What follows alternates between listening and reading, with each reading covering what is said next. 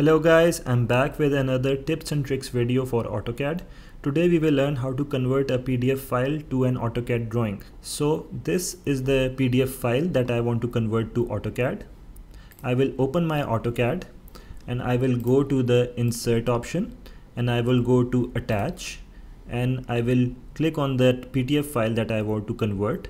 Make sure that PDF is turned on from here and click on the PDF file that you want to convert click on OK open and click on OK and let's just zoom out a little bit and you see that the file the PDF file that I wanted to convert to AutoCAD has been attached in AutoCAD as an external reference block.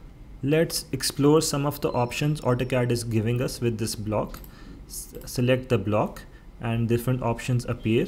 You can change the contrast, you can make it fade, you can make it into a monochrome by clicking over here. You can show underlay by clicking here. You can enable or disable the snaps.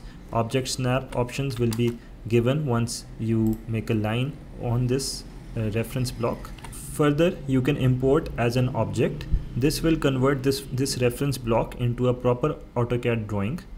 Click on this.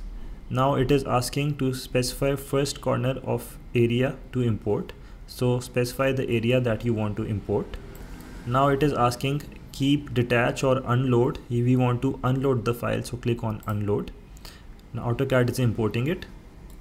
Now you see that that PDF file has been completely imported into AutoCAD as a proper AutoCAD file. All the layers are attached. And you can check them from here. All the layers have been converted. So we are done for today for more informative videos, don't forget to subscribe our channel and press the bell icon. Take care. Goodbye.